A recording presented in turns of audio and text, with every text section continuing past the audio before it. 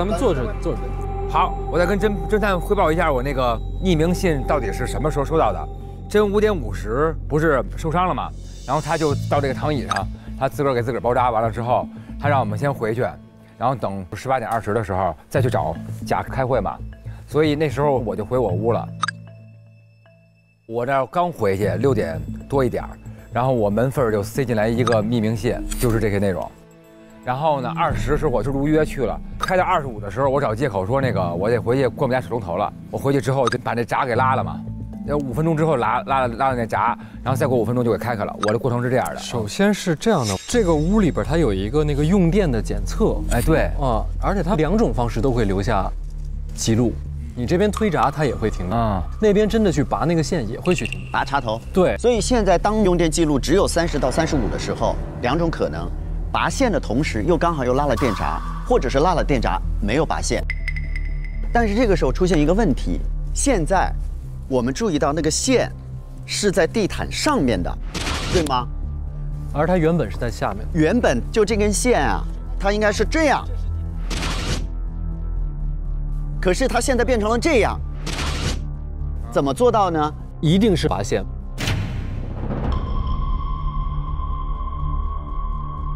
三十的时候，我跟大梅留下来打扫卫生。我回去之后就把这闸给拉了嘛。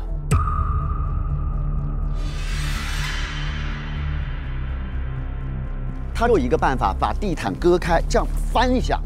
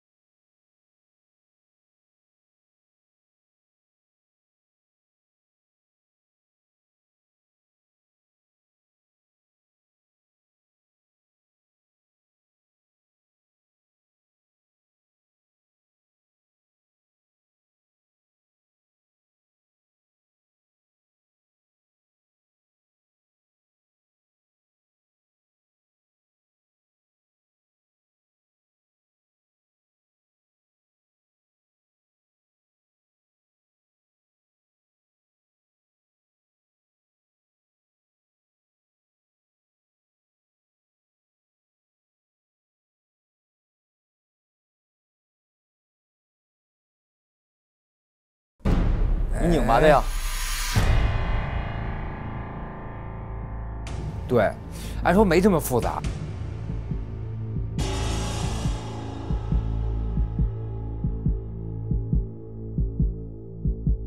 而且就是说，咱们这样卷的话，其实对于凶手来说没有必要，对不对？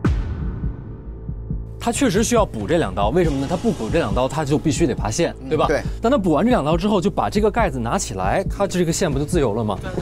勒死，然后再把这个盖子挂回去，这不也还原了吗？对对对。但是现在是现场的线在上面。直。对。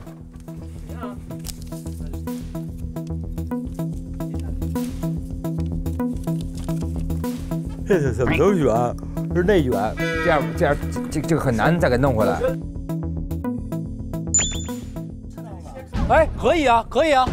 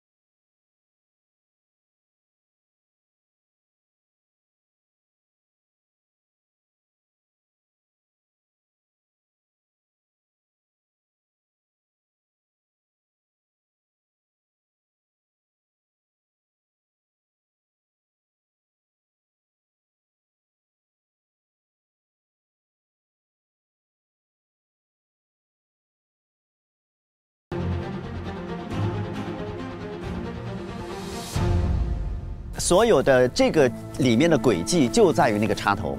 对这个这个的设置的原因，就一个是时间点，还有一个是告诉你说，这个线没有被拔过，只能是在三十到三十五之间的人干的。对对，所以其实就把就指向了你们当时三十到三十五在一起的三个人。所以我现在就想听一听你们三个，荣原本是有一个捅刀计划，对，他原来是有一个自然粉计划，甲原来有什么计划？木偶电话砸他，然后捅死他，把他吊起来。呃乌晕他，乌晕他，乌晕他，乌晕他，乌晕他乌晕他，因为我觉得这个计划的制定者要满足一个，就是他对那个电线的了解程度一定是非常了解，就是他看到了那个地毯上有一道口子，走一道暗线这个事儿，他才能设计出这个方案。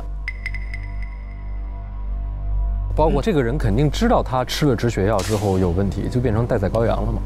因为他计划了一个黑灯的时间，但是他黑灯那个时间不准备去，对他要进去在有灯的情况下，光明正大的做那么大一动作，那死者当时必然是睡着的。对，所以这个人肯定知道那个止血药。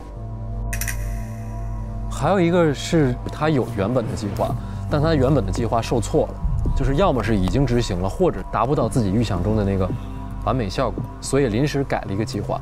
而且这个补刀计划其实是对你们三个在黑暗中干了点什么有所知，最起码对于大肯定参与了有知道。所以其实我想从你们仨的那个原本的计划的角度上去排一下。目前来说，我觉得荣和刘是比较迫切的，而甲来说的话呢，他今天这一刀看不出来对他那个计划有什么影响，就是我们现在发生的一切的乱局不影响他大半夜再去捂人去。荣比较符合是说我有一个计划，但执行不顺畅，我捅他一刀居然没死，那他才是那个最最着急要去补刀的人。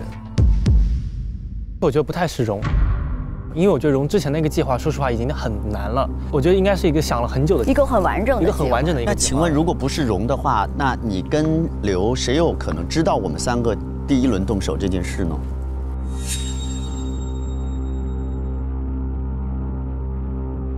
我觉得留相对来说留的可能性会大一点，因为你听不到那个声音，啊，所以你只能感觉到松手，你就会觉得有人要动手。嗯你听不见，不是两边都松手了，而且你们要不要考虑一件事情？就是我觉得实施这个计划人，他起码得保证就是大一定得是那个人。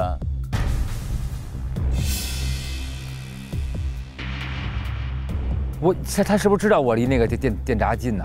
所以你只能找我，找他不就远了一点吗？谁会想到用大来做这件事情？